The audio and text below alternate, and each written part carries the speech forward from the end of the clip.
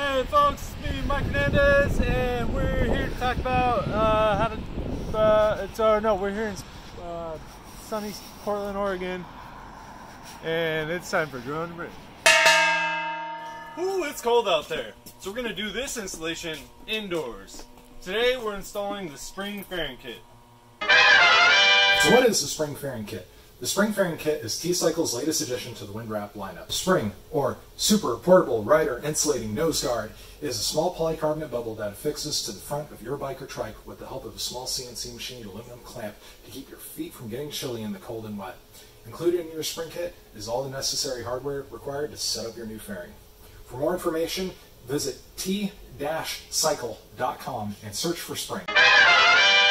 So when you get your kit in the mail, it's going to come to you in a bag with a bunch of sub-assemblies and your instructions at the top. You're also going to have your fairing rolled up in some plastic and some foam. Uh, don't go crazy cutting that open because your fairing's inside.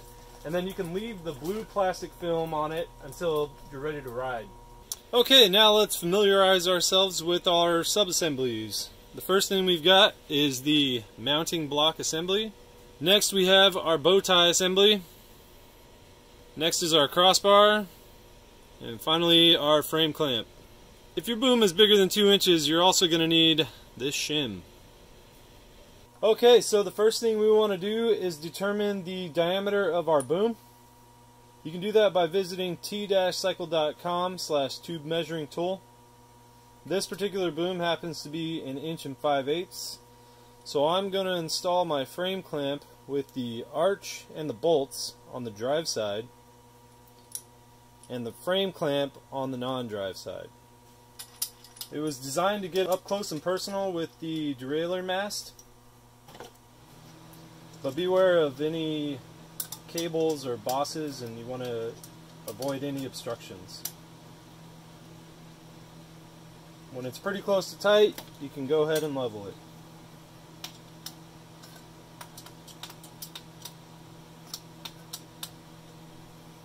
Next up, assemble the bow tie assembly. You want to make sure and keep the big washer in the slot. If your boom is larger than 2 inches, you're going to have that shim. And that shim is going to go right in between the bow tie and the plastic saddle here. On the back of the bow tie is this recess that fits perfectly over a frame clamp.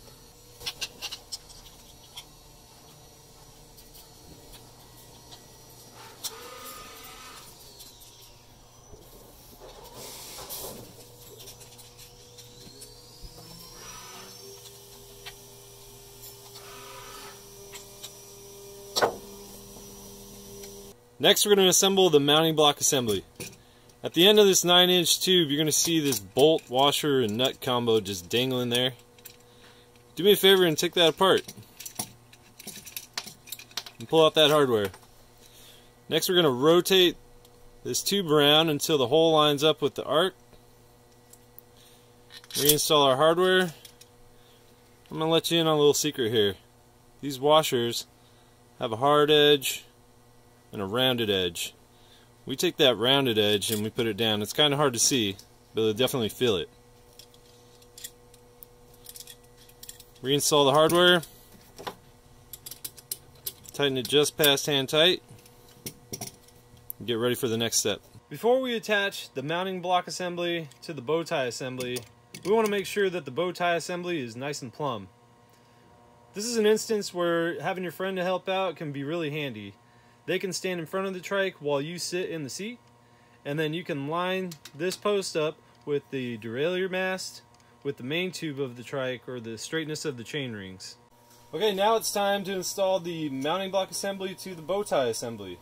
The things we want to look out for here are that the T-clamp is facing up, and that the stainless pieces are facing down, and that the bolt head on our collar clamp are facing the non-drive side.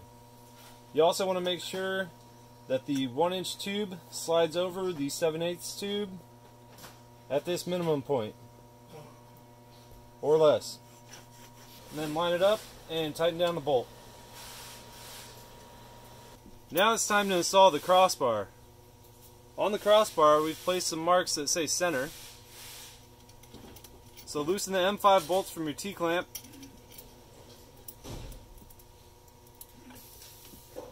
Center your crossbar. Reinstall the arch and bolts.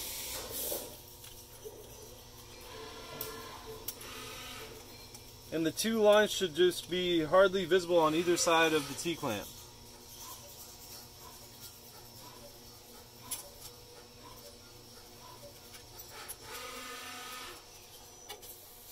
Now with the crossbar installed, let's make sure that everything is square. Again, we want to check and make sure that everything is lined up this way and that the crossbar is perpendicular to the trike. Yeah, we pretty much nailed it when we installed this one, but if it is off, you can loosen up these bolts and nuts and twist this until you achieve perpendicularity. It doesn't take loosening all four of these, it could even just be loosening two of them up at, at a time and twisting and then tightening back down. Before installing the fairing, we're going to show you the different points of adjustment on the mount itself. On the mounting block assembly, this collar clamp has an M6 bolt that you can loosen with an M5 wrench and slide away from the trike or towards the trike. On the bow tie assembly, using a 4mm Allen key and your 10mm box end wrench, you can loosen this bolt nut and rotate it up or down. On the mounting block assembly, with a 4mm Allen key and your 10mm box end wrench, you can loosen up this bolt nut combo and rotate that up and down as well. As we said before, you can loosen these bolts and nuts to adjust for perpendicularity, but this is also a point where you can slide this tube up and down for adjustment. Finally, on the crossbar, on this T-clamp, loosen up your M5 bolts and you can rotate your crossbar, making sure to keep it centered, and then tighten that back down. Now let's install the rubber nuts. The order of these parts matters, so you want to make sure that the thumb screw is going through this plastic washer, and then this rubber washer is on the front of the trike when you put the thumb screw through the fairing. And then you put the rubber nut on the inside of the fairing. Now with the rubber nuts loosely installed on the fairing, we're going to attach it to the four mounting points of the mount, starting with the lower. Slide the rubber nuts through the lower portion, and then attach to the top. And don't tighten anything down yet. Now to tighten the rubber nuts. Start to tighten, but don't over tighten. These are designed to swell, so as soon as you start to see them swell up, give them a little tug, and they should be in there nice and secure. Now that everything's installed, have a seat in your trike and make sure that your feet clear the fairing comfortably. Go on a test ride and make any adjustments wherever needed. Now that you've gone on your test ride and made any adjustments necessary, go through the entire mount and just make sure that everything is tight and double check it all again. And then?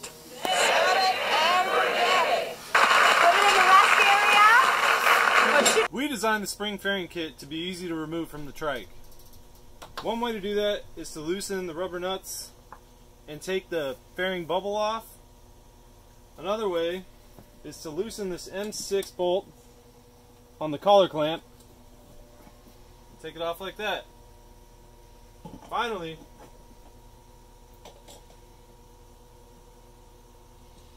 can remove it from the frame clamp itself.